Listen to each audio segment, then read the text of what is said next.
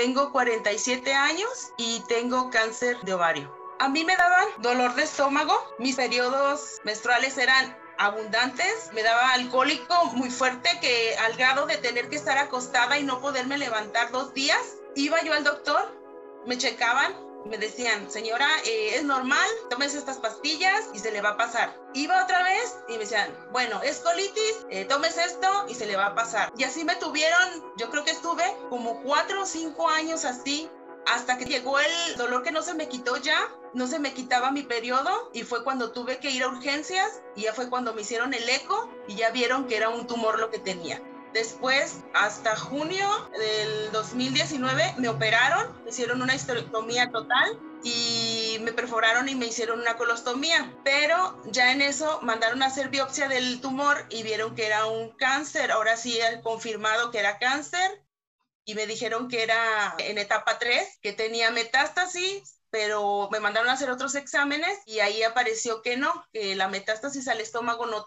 no estaba, que nada más tengo una úlcera. Me hicieron siete quimios, en este febrero las terminé y ahorita ya estoy en exámenes y ahora sale el resultado de mi tomografía para ver qué se sigue. Me puse muy mal cuando me dieron el resultado, tuve que ir a psicólogo porque no lo podía yo asimilar adelgacé mucho de la, de la noticia, no comía, te dicen cáncer y tú dices, me voy a morir mañana, una semana, pero gracias a Dios me mandaron a hacerme mis quimios, yo me sentí fatal con las quimios, las terminé en febrero y ahorita los primeros meses sí me sentía mal, me dolía todo el cuerpo y el doctor me dijo que eran secuelas de la quimio, pero ahorita ya me siento mejor. Mis cambios también que he hecho son en mi persona. Antes yo era una persona callada, seria, cohibida y ahorita no sé si sea por lo, me sirvió mucho el tratamiento con la psicóloga, porque todo el mundo me dice que soy diferente, ya me atrevo a hacer cosas que antes no hacía.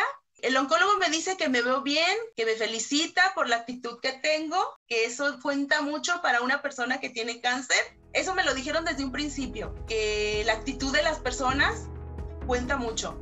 Y yo pues le he puesto toda la actitud. Mi sueño es que mis hijos me den nietos, pero no quieren.